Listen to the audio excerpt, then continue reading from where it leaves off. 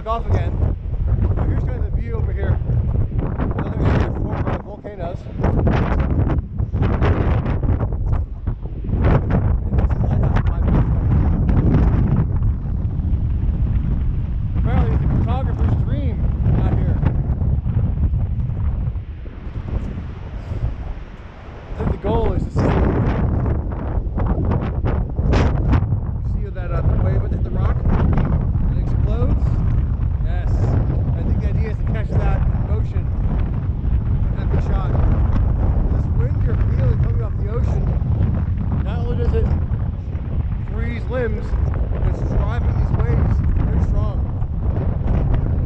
Hopefully though, you can see all around me there's, there's a ton of fog and above us, blue skies, it's actually pushing me backwards. That wasn't fake news.